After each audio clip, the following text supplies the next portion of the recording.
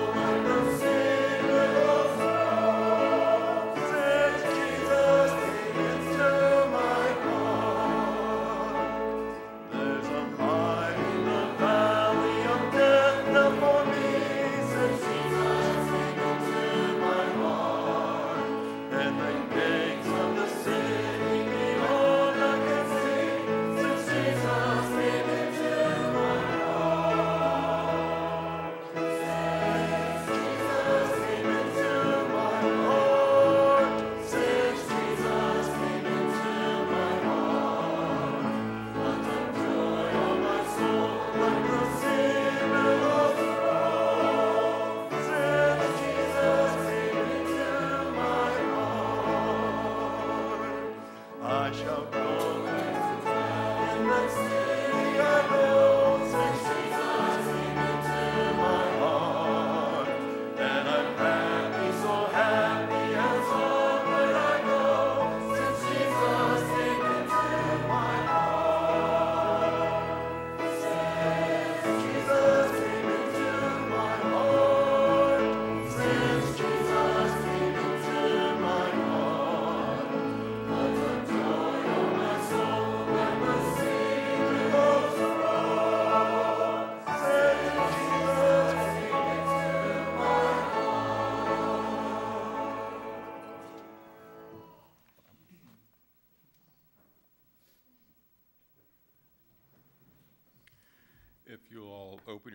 Bibles, we're going to read section starting in Acts chapter 2, verse 11. That would be Acts chapter 2, verse 11.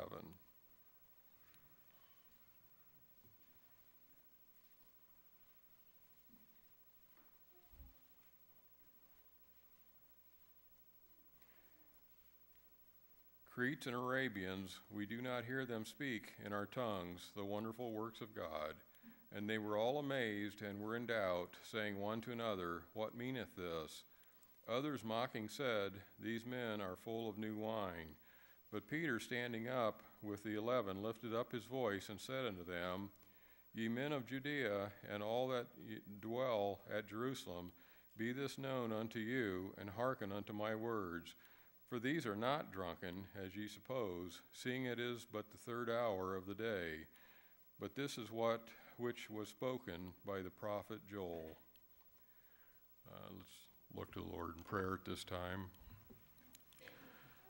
Our Heavenly Father, we just thank you for uh, welcoming us into this service today. We praise you because uh, you love each one of us and have a perfect plan for our lives. And Lord, we just thank you for the things that are being taught in the Sunday school hour. Lord, as we were in the men's class today, uh, talking about things like how your word is quick and powerful. And Lord, that it will actually cut into the very depth of our soul. And Lord, I pray today as the pastor gives out uh, the word from uh, your word, that Lord, it would uh, cut to our very uh, soul and spirit and into the joints and marrow. That Lord, uh, we would go away from this place and want to serve you with all of our heart, soul, and mind we would uh, lift up uh, those in our congregation, which are several who have uh, lost loved ones recently, and Lord, pray that this church would bring comfort and peace to them. And Lord, we think about the many ministries as the choir will be presenting in a few moments, and Lord, as they'll be singing about things that are in truth of your word.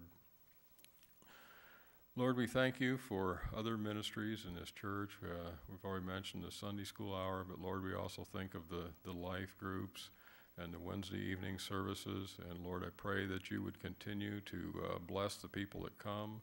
And Lord, that there would be those who might be hearing the gospel for the first time.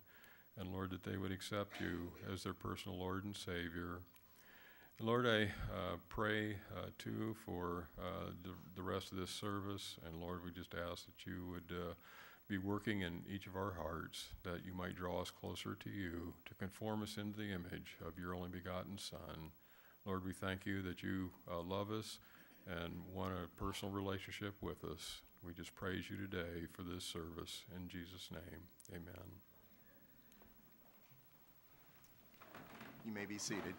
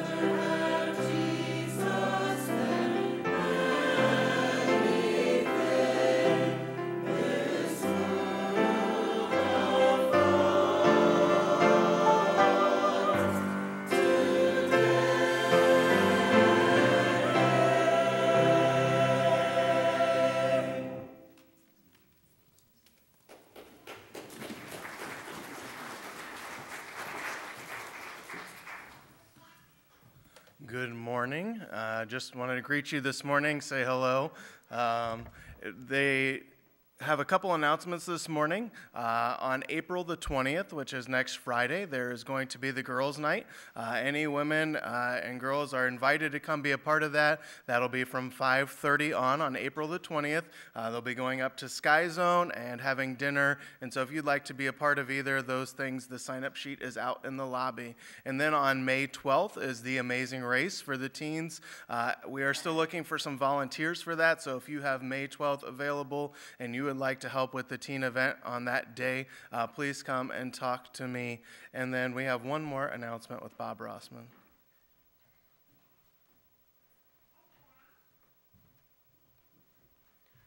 Uh, This announcement is actually in your bulletin, and it has to do with the security system that we're looking at. Uh, And the board has uh, approved this, but now it requires congregational approval. And this is for, uh, we're contracted with this Bell Security System, and uh, we're going to be putting like eight cameras around, and they'll have video and ability to record things that go on around here. It's kind of the society we live in. Um, I wasn't going to read the whole announcement to you because I'm having a little trouble seeing it, so eyes aren't what they used to be. But I'm assuming we'll probably have, it's not in here, I don't think, but uh, I'm assuming in about two weeks, we'll probably have a congregational meeting to approve that.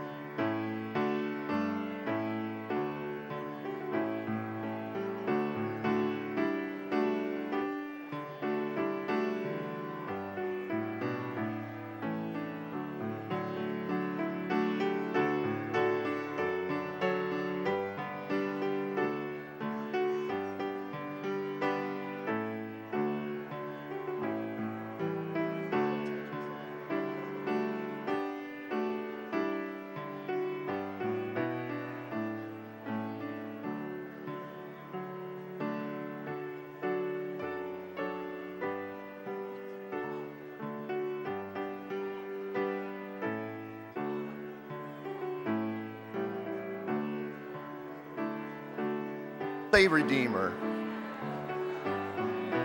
Come on, guys. There is a redeemer.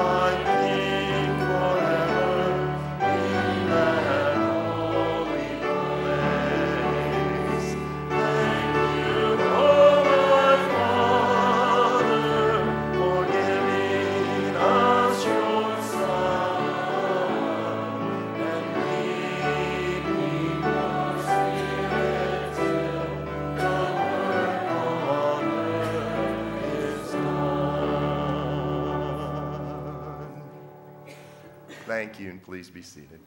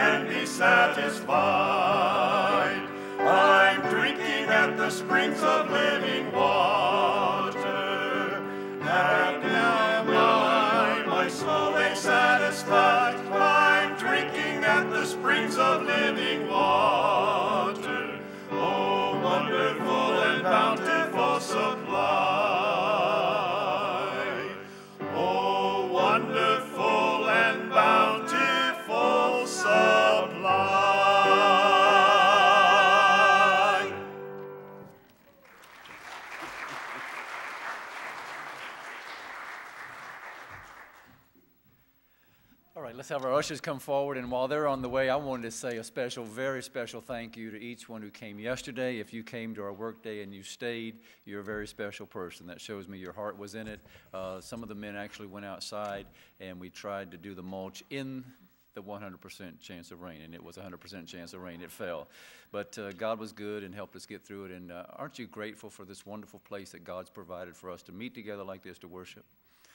Well, I am. I'll say amen, okay?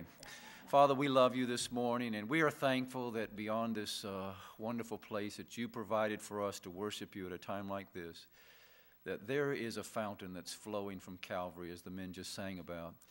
And hearts and lives are being touched and changed every single day as a result of it. And maybe in this room this morning, there's someone, Lord, who's never really opened up their heart to you. I pray their eyes would be open to your truth. They'd learn to repent of sin, put their faith and trust in Jesus Christ. Come now and bless this offering. Use it for your great and mighty purposes. We ask and pray in Jesus' name. Amen.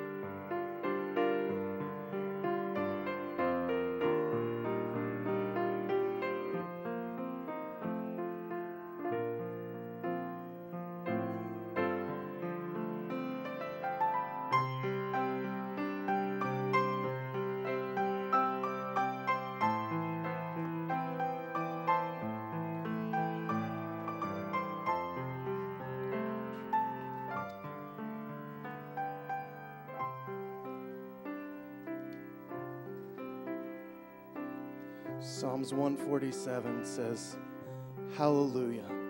How great is it to sing to our God! Great is our Lord and abundant in power. His understanding is beyond measure. The Lord lifts up the humble and casts down the wicked. Sing to the Lord with thanksgiving. Praise the Lord, O Jerusalem. Praise the Lord, O Zion. May all who seek the Lord rejoice and be glad. And may those who love your salvation continually say, Great is the Lord. Please stand as we begin worship.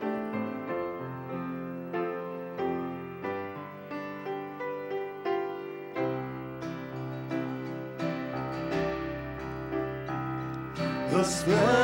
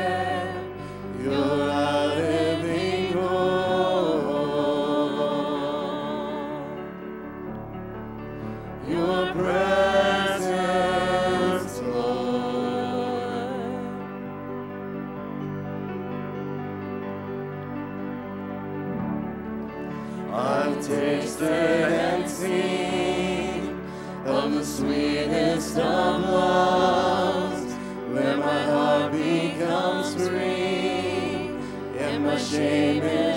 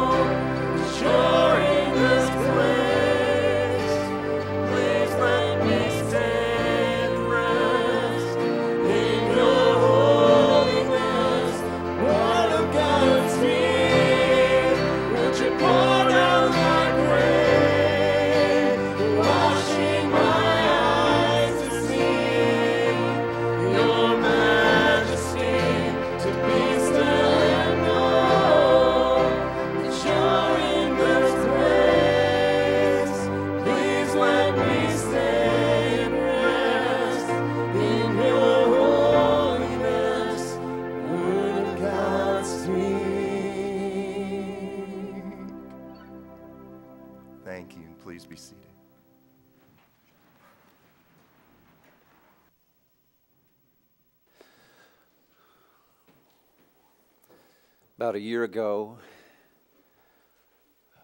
my wife and I were privileged to experience a dream come true. We got to go not only to Hawaii to celebrate our 30th anniversary, but on top of that, we got to go on a cruise while we were there. I've never showed you my slides before, and I'm not going to start this morning. But I've got to tell you, it was far better than we ever thought or could dream.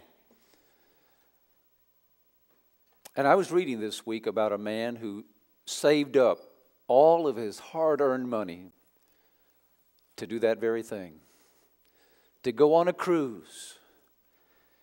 And since he spent all of his money to do this, he thought he would conserve his money by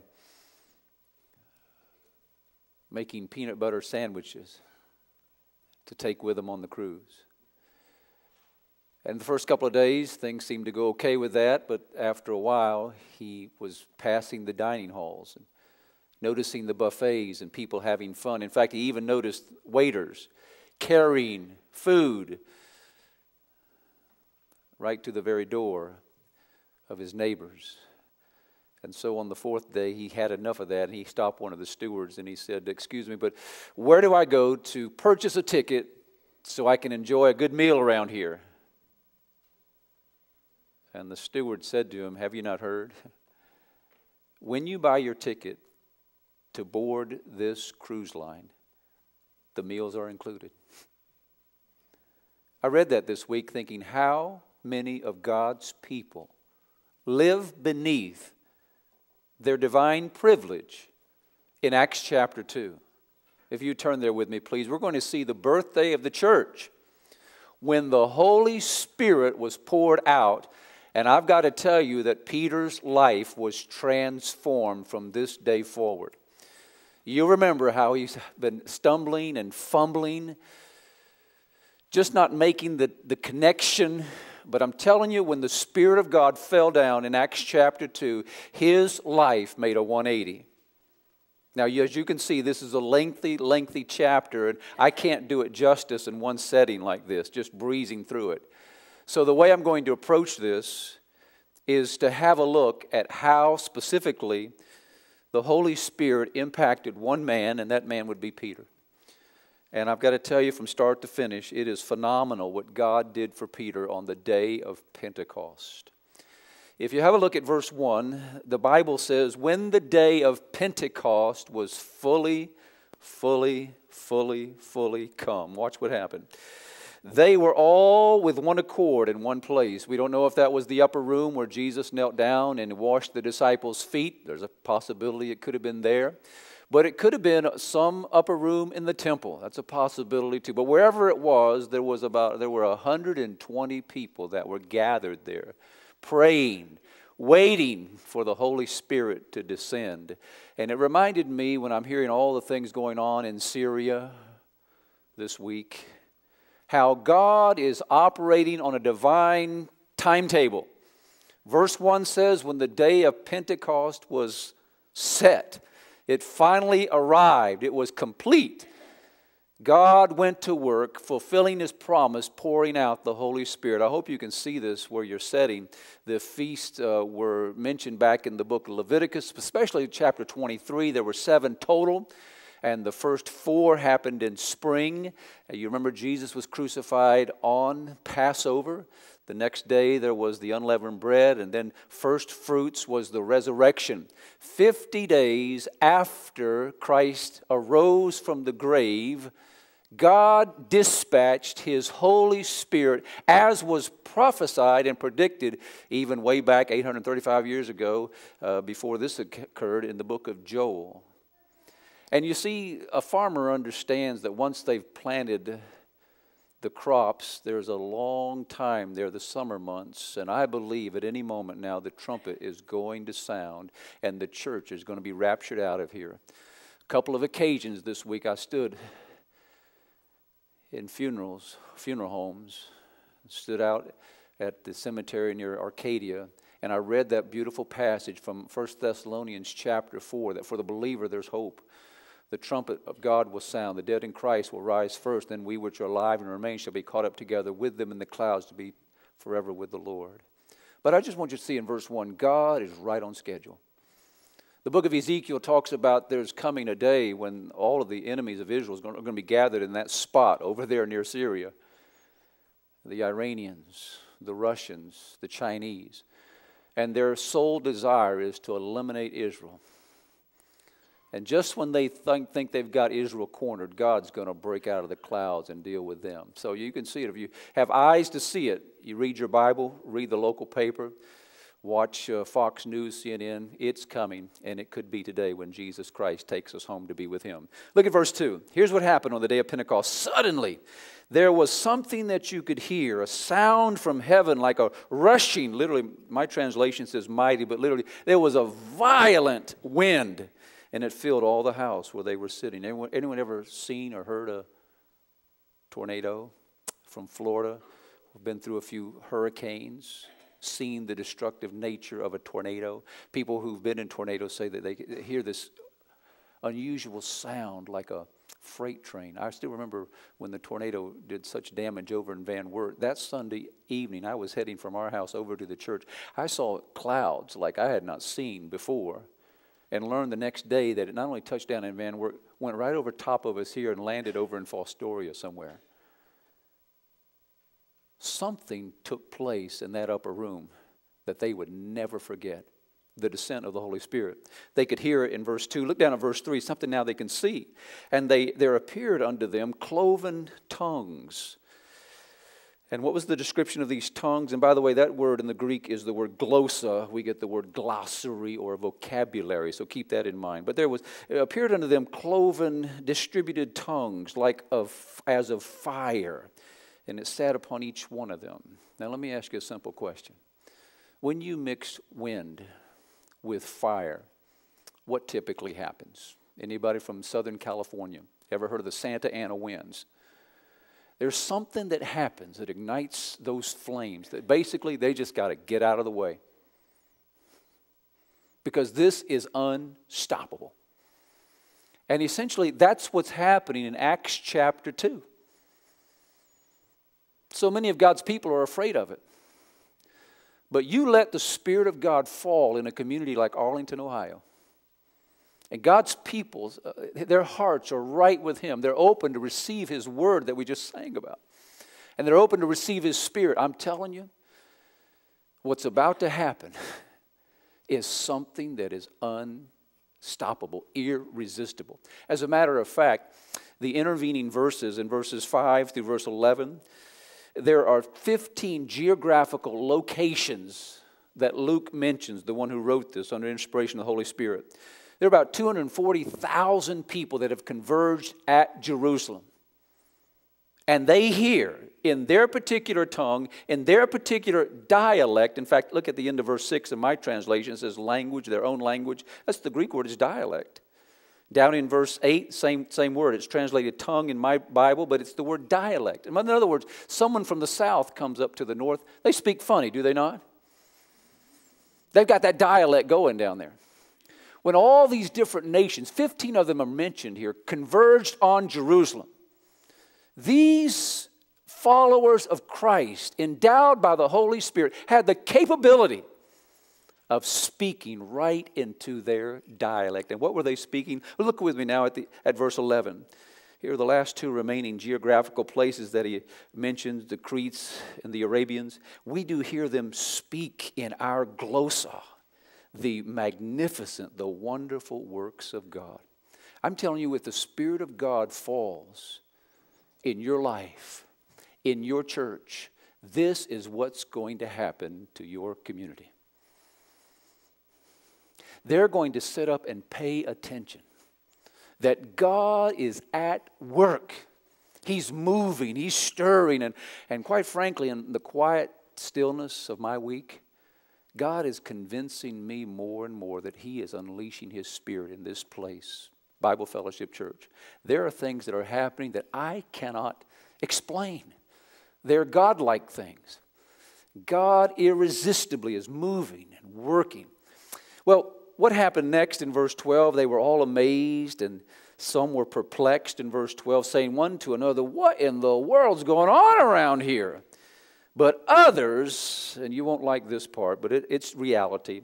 When God unleashes His Spirit, some people actually ridicule, mocking, said, These men are full of new wine. But here we go, verse 14.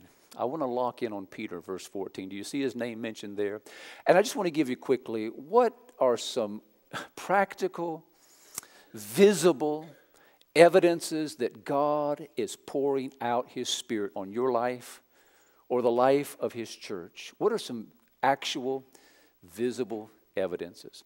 And the very first thing that touched me this week, the Lord showed me, is that Peter had incredible new boldness. Look at verse 14 with me. Peter stood up with the eleven, and he lifted up his voice, and he said to them, You men of Judah, and all ye that dwell in Jerusalem, be this known unto you, and listen to my words. This guy was a fisherman. He enjoyed being out in the Lake of Galilee, the Sea of Galilee, just, just doing his thing, right? Fishing. You don't bother me, I won't bother you. But God's been working in his heart and his life for three and a half years, and now Jesus has ascended back to heaven. God pours out his spirit on Peter, and what's the first thing right out of the gate he's characterized as having? He stands up. I like that boldness. He lifts up his voice. He says, Ladies and gentlemen, listen to what I've got to tell you. And again, keep in mind, there were like 240,000 people that were gathered in Jerusalem, according to the context, at this time. I'm saying to you this morning that when you are saved and born again and God fills you with His Holy Spirit, man, there's a sudden boldness that wells up within you.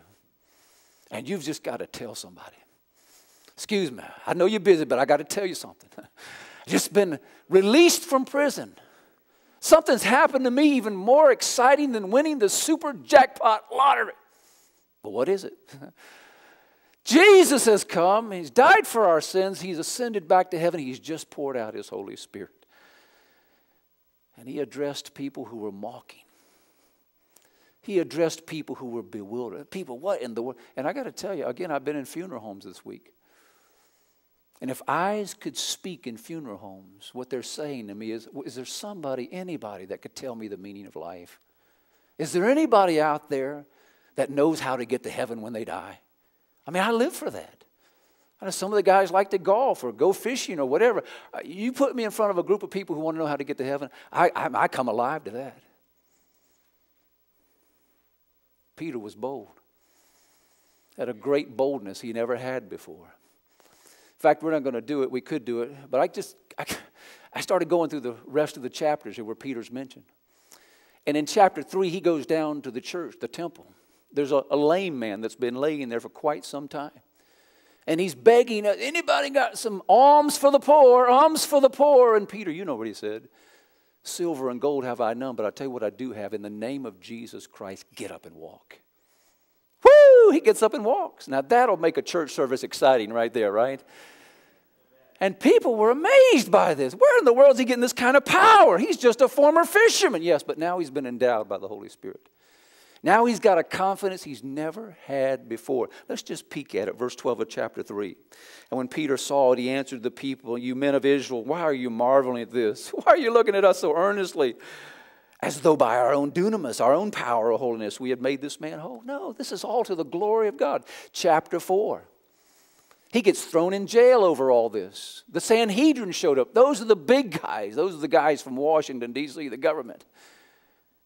And they convene a council, and you got the high priest going. And what are you doing, Peter? You need to calm down. But you notice chapter 4, verse 8, he's just as bold as ever. Next, chapter 5, he confronts Ananias and Sapphira. They are in the church. They're engaging in hypocrisy, and Peter calls them out for it. I'm just telling you, I'm getting excited about this. Peter was like Superman all of a sudden. He had a confidence that he never had before. And I'm telling you, when you get born again, filled the Holy Spirit, number one,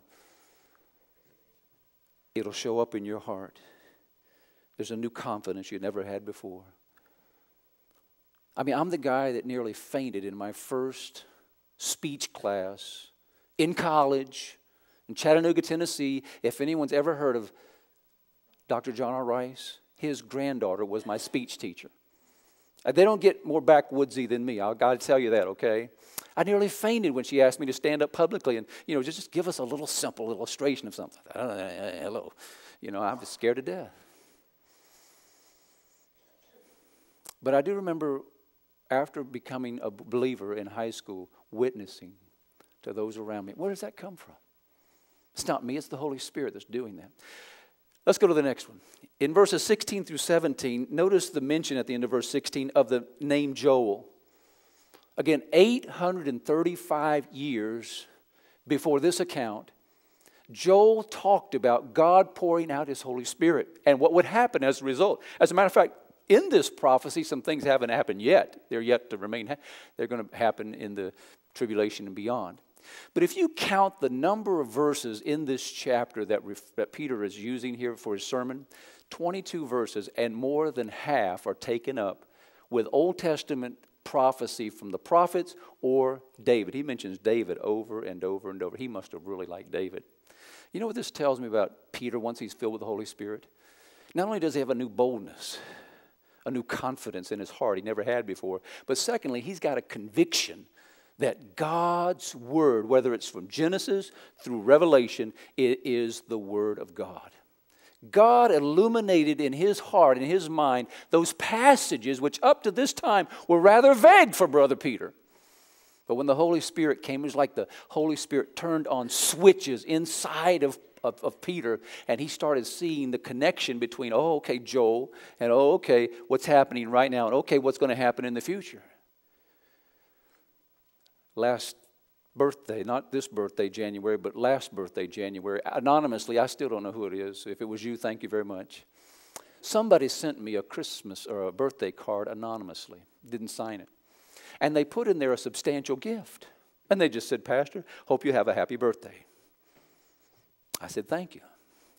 Don't know who to thank, but thank you. And I thought to myself, if you got this kind of money here, don't know what to do with it, what would you do with it? I went up to Walmart. I've always wanted one of these flashlights that'll knock somebody down when they start coming up the steps at night, you know? Because I, I, I, can't find my gun. If I can find it, I probably can't find the bullets to put in. But I, I grab my flashlight and knock them down with the flashlight. By the way, I do have a, a bat right beside my bed, so don't, don't try that sort of thing, okay? But anyway, you got to plug this thing into your computer and let it just charge and charge and charge. And I remember having it after it was charged. I said, Where is a dark place in our house where I could see how well this thing works? I know where. Upstairs, in our bathroom, there are no windows. I closed the door. I turned the flashlight on. And I started looking around our upstairs bathroom, and I saw cobwebs and dust and things that I didn't know existed. I, had 5,000 lumens going, brightened up the whole place. You know, when the Holy Spirit came into Peter's heart, the switch was flipped. He got more than 5,000 lumens. His heart was opened up to those Old Testament passages. God shed his light on the book of Joel. God shed his light on the book of David. And he could reach back and take those prophecies and say, you know, the reason you guys are missing this is because you don't understand that God is at work. If you had only known Joel's prophecy, you would have known you're witnessing a work of the Spirit, not a result of men being drunk. By the way, isn't that interesting? No, they thought they were drunk. Because Ephesians 5.18 says, be filled with the Spirit. And when you're filled with the Spirit, don't be drunk with wine wherein is excess, but be filled with the Spirit, speaking to yourself in psalms and hymns and spiritual songs, singing and making melody in your heart to the Lord. Who was it? Hannah in 1 Samuel went down to the temple and she began to pray for a child. Oh God, we live in a desperate hour. Give me a godly seed and the high priest thought she was drunk. No, she's not drunk. She knows something about interceding for God for a, for a, a godly child. Here's one other thought before we move on. In uh, Luke chapter 24, the last chapter of Luke's gospel, the day of the resurrection, Jesus went on a journey, seven miles, with two Emmaus disciples. And they walked from here, probably over toward Cory, Ohio. And as they walked along, Jesus came in their midst and he started flipping switches about the Old Testament from Genesis through Malachi. He started talking about himself, tying in the scriptures with the Messiah. And it says in Luke 24 32, they said one to another, Didn't our hearts burn within us while he was talking with us, by the way, and while he was opening to us the Holy Scriptures? The second evidence that God is pouring out his Spirit on an individual or on a church is that you will have a conviction that the Bible is the Word of God from our friends and answers in Genesis. We're told in 2 Timothy chapter 3:16, all scripture is given by inspiration of God. It's profitable for four areas of your life. Number 1, doctrine to teach you what is right.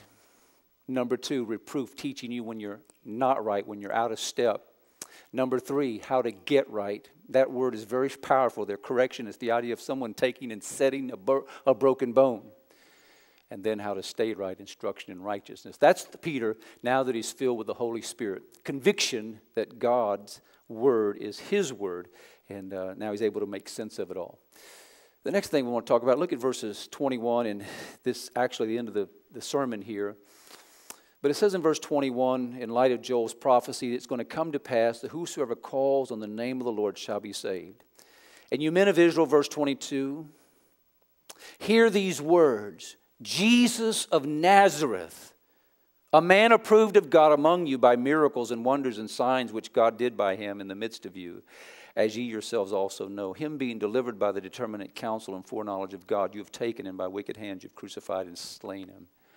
I think the best way I can develop this, what's happening here, is if you've ever gone to the top of a mountain and looked back down and you get a whole different perspective when you're up there.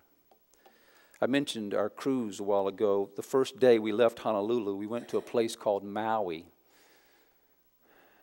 What a beautiful island. And this huge, huge, huge ship that we were on came in to an industrial area. We kind of stuck out like a sore thumb. That day, my wife and I rode over to a place called Lahaina, which is a popular tourist resort. It was so beautiful, crystal clear water. But the next day, my wife got to do what she wanted to do, and the day after that, I got to do what I wanted to do. She wanted to ride bikes from the top of this mountain here. Uh, how does it go again? It's hard to pronounce. Haleakala, anyone ever heard of that? Fortunately, it's a dormant volcano. This van that we jumped in, about 17 of us, took us up to this high, high, high mountain, about 10,000 feet up. And we put on helmets, and hopefully your brakes work really good on downhill, right? And we just had a blast. And uh, by the way, the next day, my wife and I got to ride on scooters for about 25 miles along, uh, uh, what's the place where they make coffee in Hawaii? Kona. Thank you. Uh, so that was what I got to do. We got to do together. It was fun. But what I want to say is when we went up to the top of this mountain here, just before we came down, our ship got smaller and smaller and smaller and smaller. And the island just opened up. It was a beautiful, beautiful, beautiful place. And I noticed going through here that Peter, he starts out with Jesus of Nazareth. We just read that in verse 22. But as he builds into this chapter and into the next chapter, his view of Jesus Christ, who he really is, gets greater and greater and greater and greater. Watch how this works. He starts off Jesus of Nazareth, just a mere man. Lord and Christ, chapter 2, verse 36. His son Jesus, chapter 3, verse 13. The holy and the just one in chapter 3, verse 14. And finally, in chapter 3, verse 15, he is the one who gives life. Peter, filled with the Holy Spirit, saw who Jesus is in a whole new light. But he also said, saw what Jesus did, the work that Jesus did in a new light. Now let's go back to verse 21. That word saved at the end of verse 21 in the King James is the word sozo in the Greek. It's the word to rescue out of danger. Peter saw Jesus Christ as the only means of man's salvation or redemption. Word redemption literally means to go in and to buy out of a slave market. But notice the next word in chapter 2, verse 33. It says, Therefore, being by the right hand of God exalted, he's now ascended back to glory, having received of the Father the promise of the Holy Spirit, he shed forth this which you now see and hear. What does regeneration means? Generation. If you have a, a broken bone, God wants to reset you and restore you and regenerate you, give you brand new life. And included in that is the pouring out of His Holy Spirit upon you.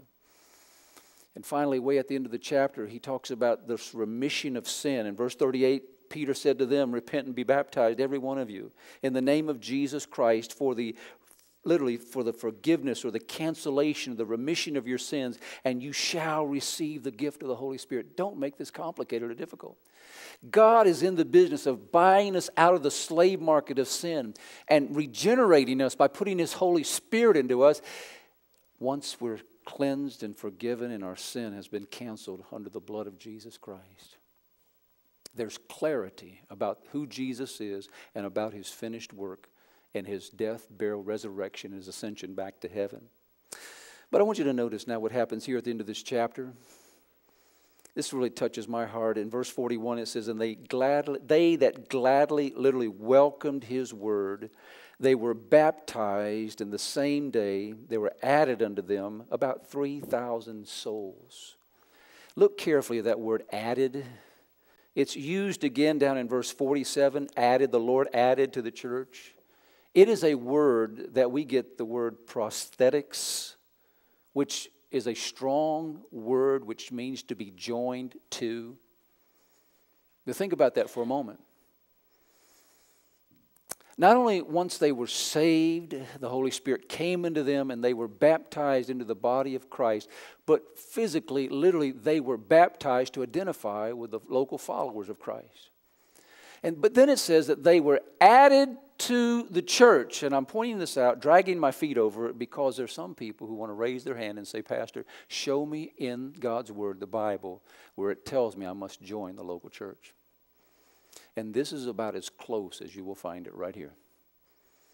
When the church was on fire, the Holy Spirit just fell.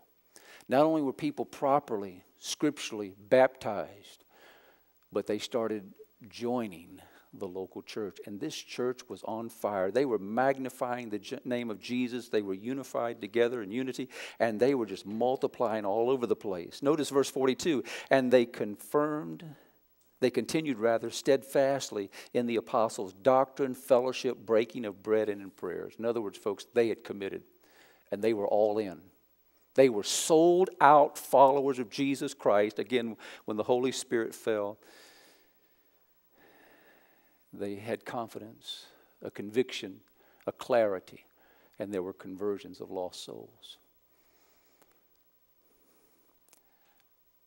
Three weeks ago, this past Friday, probably didn't hear much about this in the news, but over in the southern part of France, there was a gentleman who was in the military over there, and he's part of a law enforcement, elite law enforcement. And he was on duty when this terrorist broke into what we would call a grocery store over here. And the terrorist had already killed somebody in a carjacking incident and killed two people in the grocery store, and so they knew he meant business. And the terrorist managed to capture the lady at the cash register who was 40 years old. Naturally, she's pleading for her life. This man went above and beyond the call of duty. He walked into the front door, over to where that lady was being held captive. His name is Arnaud Beltrame.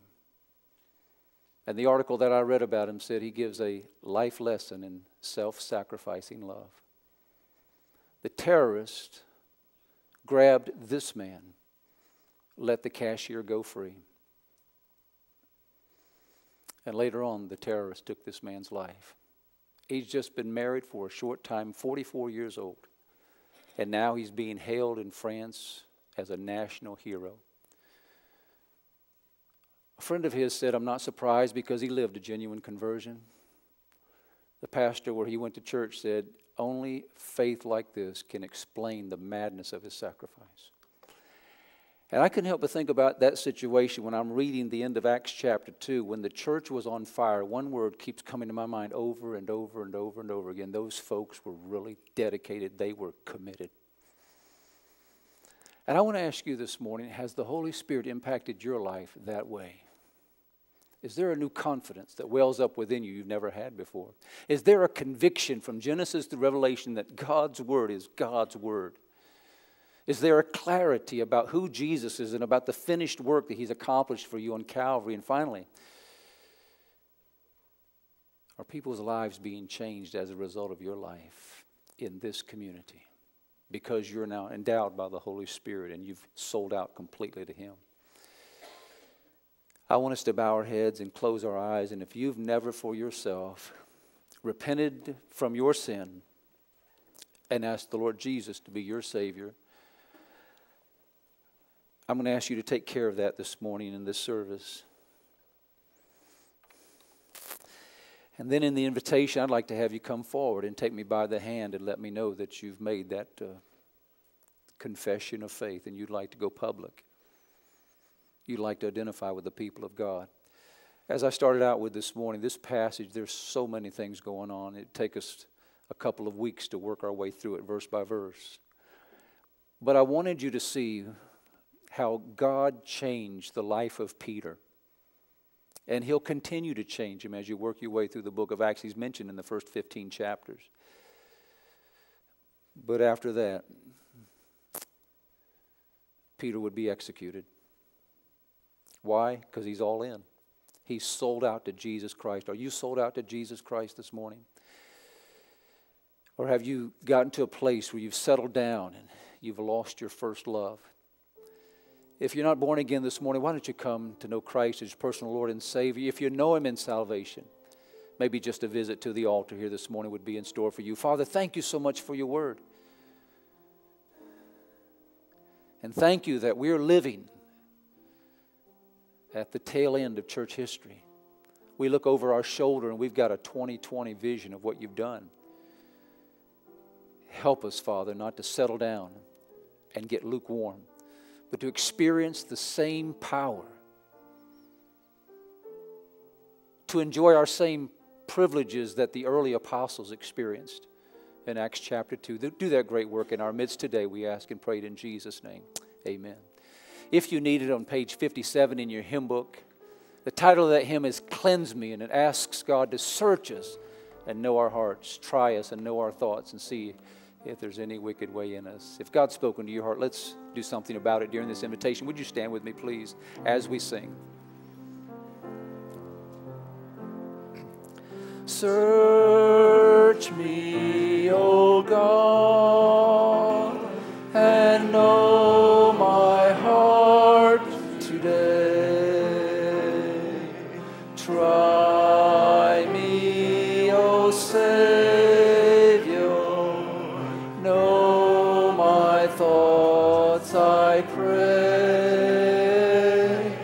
see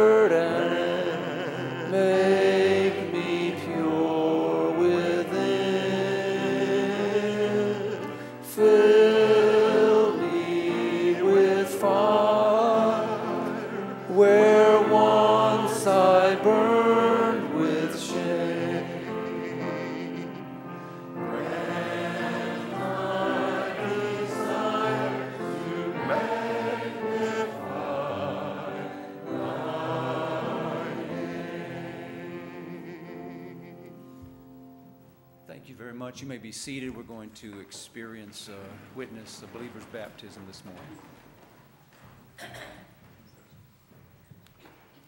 If you would, take your hymnals and we'll turn to hymn number 324, please. 324. Or it is on the overhead as well.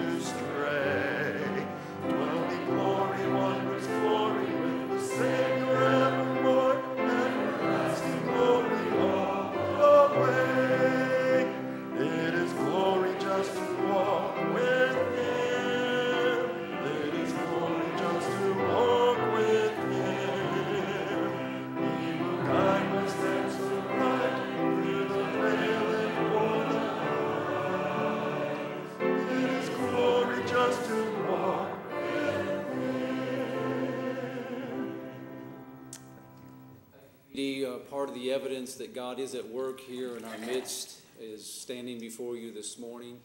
And I'm going to let Bob come and share with you what the Lord did for him this week.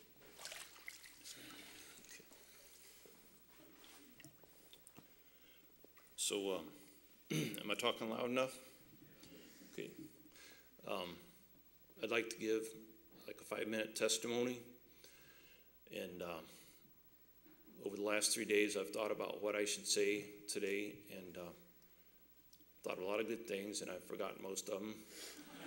But, uh, so, um, but I, I believe it's, God wants me to say these things. So it's important, I believe. So um,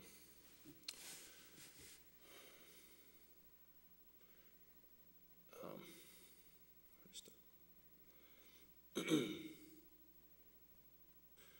so um, I, I, I, one thing I thought of was there's two men here about the same age, and at 17,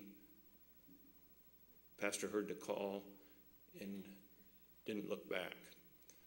Whereas I heard the call and then um, I turned away for a, a good portion of my life. My mother is here with us in the church today, and um, she had me baptized, and my mom and dad took me to church, um, tried to give me their values. I remember my mom encouraging me to go to koinonia and youth groups. Um, and then, then I married Lori, and um, she didn't know what she was getting into, but um, she's a wonderful woman. um, so all my life I've been in church, but the majority of it I was just pretending or not paying attention just being, uh, uh, God was not at work in my life. And, and so it took me down a, a dark path and uh, caused a lot of pain in Lori and my family. So about, I'll break here. I, something I thought I wanted to say. Pastor talking about this church. I want to say what this church means to Lori and I. we came here a year ago, and we, we thought we were leaving our other church for one reason, but when we got here, we found out no, this is where God thought we were ready for this church now, uh, like going from high school to college. And uh, so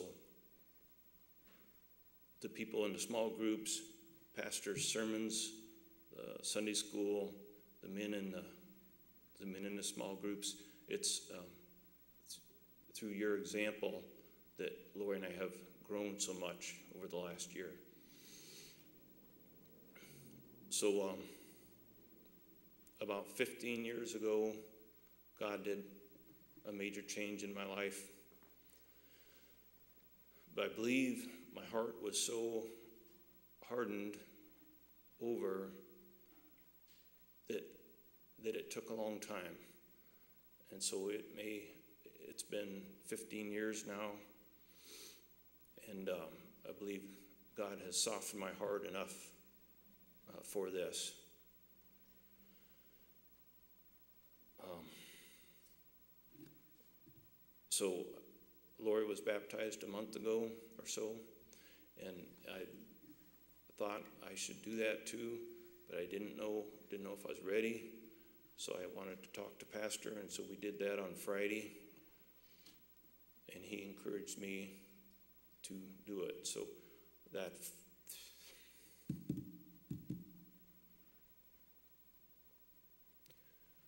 So Friday in my garage, we knelt down and uh, I recommitted my life to Christ. Uh, I've uh,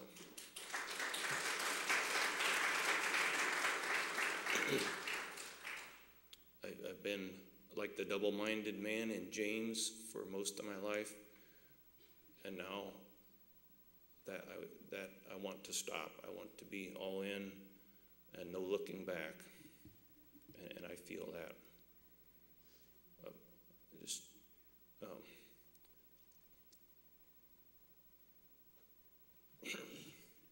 wanted to say something about Lori. It's it's her faith and her strength that uh, her strength through God that uh, this that this isn't a bad story. This is a happy story. This is a happy day in my life. So I'm ready. Stand right back here and face that direction. Bob has been a friend of mine for many years. And I've told him over those years how much I respect and appreciate him as, my, as a friend. And I take great delight in being able to pray with him to make sure he knows Christ as personal Lord and Savior. I know when we ask, I asked him if he would kneel down here at, at his bench in his garage. He said, Well, the house is a little cleaner. Can we go in there? And I said, No, let's just do it right here. And I knelt down on one knee. I'm of little faith. I looked over and Bob was on both knees. He was serious about this. And so then I got on my knees as well, and we just prayed right there in front of his workbench, and he asked the Lord Jesus to be his Savior. And now, as you can see, he wants to follow him in believer's baptism. So, Bob, I love you, man, and based upon your profession of faith in our Lord Jesus Christ, and out of obedience to his divine command, I'm now baptizing you, my brother, in the name of the Father, and of the Son, and of the Holy Spirit. You're now buried in baptism and you are raised walk in newness of life. Amen. And your last word? Let's stand together, please, and don't forget tonight at 6 o'clock, if you're not part of a small life group, man, you're missing it. We're, I'm hearing so many good things about our life groups. Father, again, we praise you. We stand in awe of you, and we sense a touch of your presence as we looked at in the book of Acts, chapter 2. You're, you're working just as much today as you were then. I just pray you'd help us to be in tune with what you're doing. I pray especially for Bob, Lord, that you'd help him now to grow in your grace and knowledge and to be mightily used for your great purposes. We love you. Thank you for the time we've had together this morning. Give us a good, restful afternoon, and pray you'd help us as we come back again this evening to learn more of who you are, what you've done on our behalf. In Jesus' name we pray. Amen.